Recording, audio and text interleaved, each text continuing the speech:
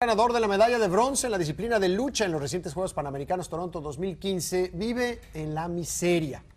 El joven dominicano vive en una favela de latón junto con sus dos hermanas. A pesar de haberse coronado como el mejor luchador de su país y uno de los mejores de toda América, el atleta es tan pobre que no tiene ni una pared donde colgar sus medallas.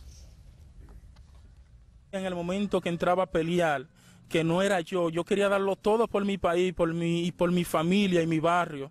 Representar mi país, eso era lo que me daba la fuerza a mí y el orgullo para yo en cada combate entrar. Anoche el gobierno dominicano anunció que le daría una vivienda digna a este atleta que tanto orgullo le ha traído a su país.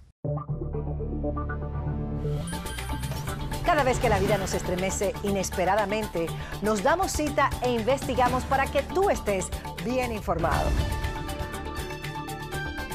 En Arrojo Vivo estamos conectados con nuestra comunidad, con sus necesidades y sus urgencias. A las 4, 3 Centro. Somos tu primer frente de información.